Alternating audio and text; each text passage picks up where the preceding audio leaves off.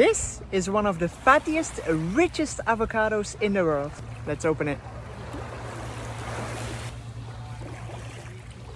Ah. Oh my god, how beautiful does this one look, right? I know it's gonna be amazing because I've had this avocado before. Mmm. Oh my god. This avocado tastes so buttery, so fatty, super, super dense. But it has this beautiful sweet edge to it. I love it when avocados have a little bit of sweetness to them. This is just fantastic. Mmm.